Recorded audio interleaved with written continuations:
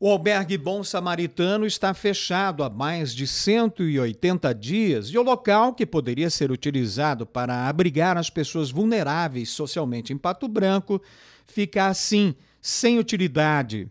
Setores da comunidade cobram uma solução para o problema. O assessor jurídico da prefeitura, Leonardo de Bortoli, destacou que o interventor que administra atualmente o local informou que a intenção do Conselho Metropolitano Vicentino é alugar a estrutura, com o que a prefeitura não concorda. O albergue ele está com uma situação que ele está sofrendo um processo de intervenção pelo Conselho Metropolitano de Maringá.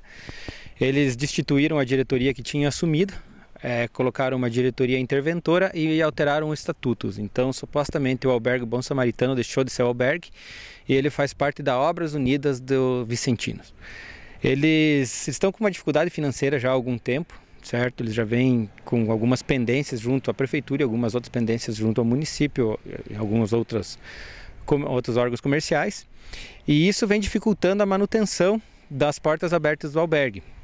A municipalidade já vem tentando negociar com a, com a diretoria que, tá, que se encontra hoje no, na gestão há algum tempo para que voltem a funcionar, que voltem a abrir, que voltem a atender os necessitados da, da, da nossa cidade. Quem está na rua hoje não pode esperar que eles negociem um aluguel com outra entidade. Isso aqui deveria estar tá aberto já. Nós estamos passando por dias rigorosos de frio e aqueles que têm frio não pensam em aluguel, em pagar 5 ou 10, 15, 500 mil reais de aluguel. Né? O albergue deveria, no mínimo, entrar em contato com outra entidade, já que não tem condições de tocar, e se de fato for uma obra de caridade, ceder o espaço para que outra entidade abra isso aqui e dê continuidade ao trabalho, atendendo aqueles que mais necessitam e que estão passando frio na nossa cidade.